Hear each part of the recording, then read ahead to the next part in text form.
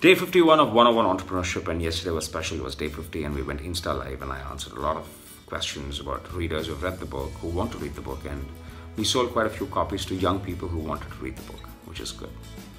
Today on day 51, I'm here to talk about um, commitment, which is something that is very significant in the journey of entrepreneurship because one thing that the journey of entrepreneurship will test is your commitment to the game. How committed are you? Because it will not give you the process you want, it will not give you the journey you want, it will not even give you the results more often than not that you want. And then it'll ask you saying, Are you still in the game?